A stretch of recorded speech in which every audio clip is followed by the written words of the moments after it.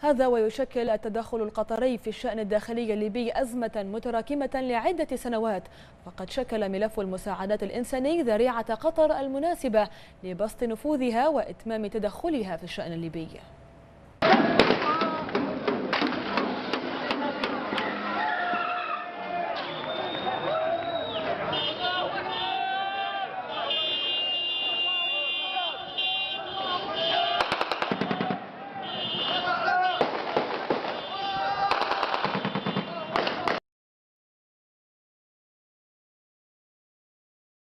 بسم الله.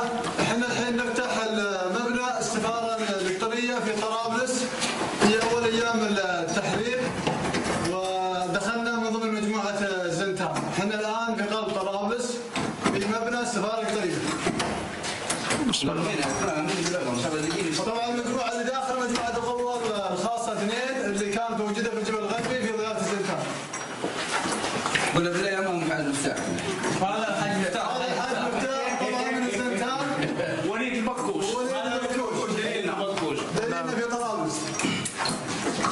هذا بلاد قناص عندنا ها طيب وخر وخر جاي باش تصور بط بط الباب يا